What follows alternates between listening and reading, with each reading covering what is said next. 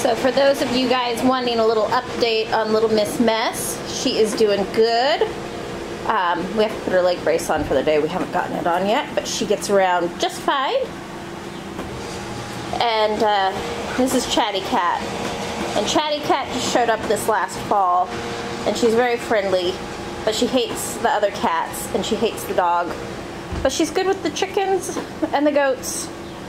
So I guess that that's good. And we would allow her in the house, but she has a meltdown on the other cats and hisses at them and she doesn't like the dog. So we feed her and she has a little bed set up outside in one of the buildings and she seems pretty happy.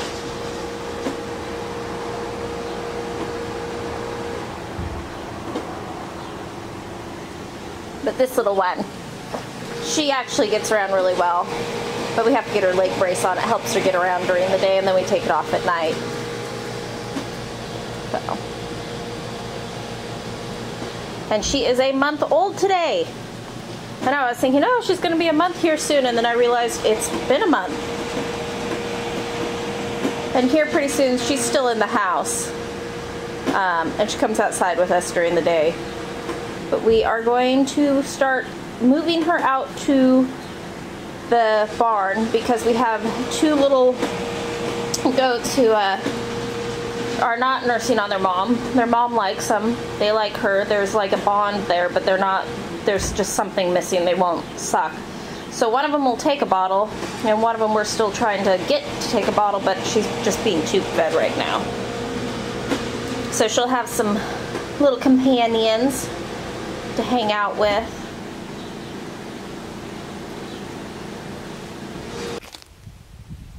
Okay, you guys, so I haven't shown you much of the garden this year because, well, it's had some failures, we'll put it that way but I did want to run out here and show you guys. I'm switching the um, hose over to the next row of brassicas because it is 100 degrees in the shade right now. It is toasty out here. So I'm trying to keep everything watered and I have a mole that keeps running along this row of cabbages and Brussels sprouts and whatnot. And so they are all looking wimpy. But one of the things that is making me incredibly happy this year are these dahlias. And I started these from seed. And they, um, the seed came from Floret Flower Farm, I think is what their name is. Um, and it's called the Bee's Choice. And let me tell you, these are just loaded with bees, all different types of bees. Um, and some of them are really quite beautiful. The flowers, like I really, these over here, um, I have picked so many of these flowers and they are so beautiful. I just think they're wonderful. And this plant in particular has a whole bunch of flowers on it. Um, some of them are a lot more simple, like this one. But the thing is, is that um, all of them have just been loaded, loaded with bees. Um, and then this one, this is a little bit of a different look. So I started these this winter and then on June 1st, after getting all of my tinder stuff planted, we woke up to a um, killing frost that took these down to the ground. And my peppers and eggplants and um, a lot of other things. But it has just been so impressive to see how they have come back like this one. The back of the petals is actually darker.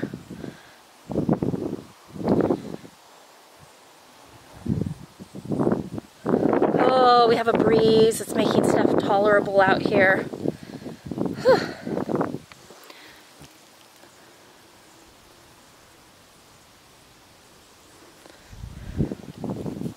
And I'll save quite a few of these because as, you know, I started them from seed, but they'll form tubers. Like this one, I'm not overly impressed with the flowers, but I'm just leaving it for the bees. And then this one, this one is so gorgeous. When the flowers first come out, they're almost neon. I don't know if the camera is really picking up the color, but it is so gorgeous. And these red ones here came from our friends Chuck and Jenny.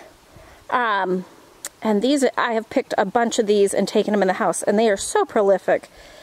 And they are just beautiful. Um, I actually used one of these to pollinate another one that we have over by the house. I know the other one is called Advance, and it's like a peachy and yellow one. So I want to start having my own um, dahlias. And I was going to use one of the, kind of the brighter pink flowers. Um, but when I came out looking for pollen, the bees had collected it all already. And then I have some sad little zinnias and a couple cosmos here. And then farther on, I finally got my dahlia tubers planted up. And they're kind of scattered around here and there. Um, so I'm hoping we'll have a long enough growing season that they will uh, have a chance to grow. And then my tomatillos got frosted completely to the ground.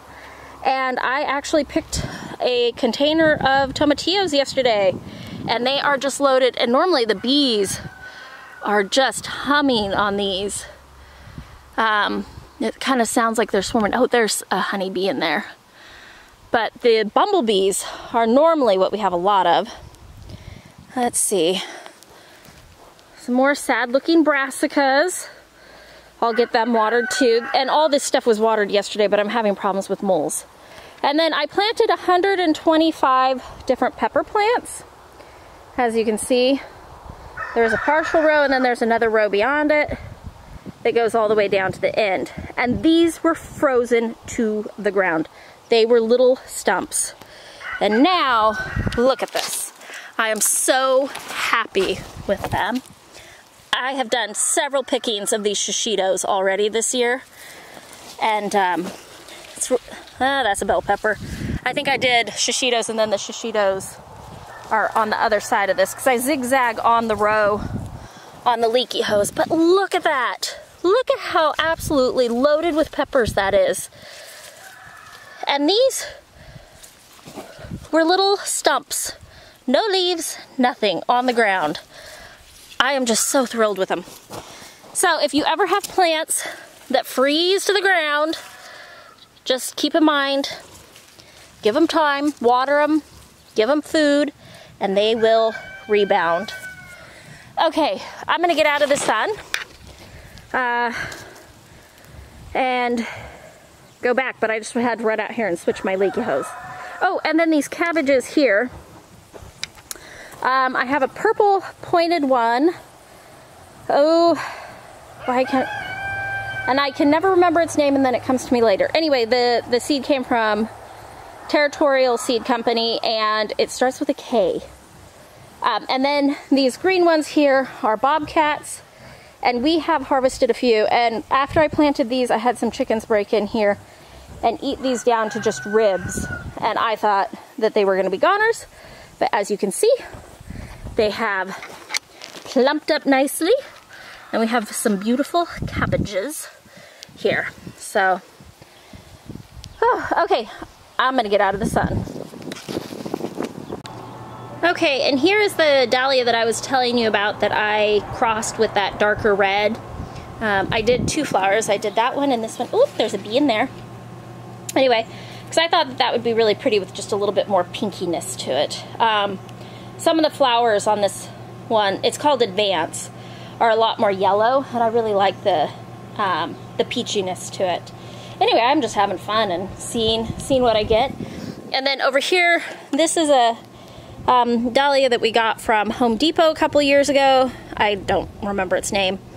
Anyway, and I crossed this one with the red too, but it does look like we've got some bees here who might have been uh, helping me with the pollination.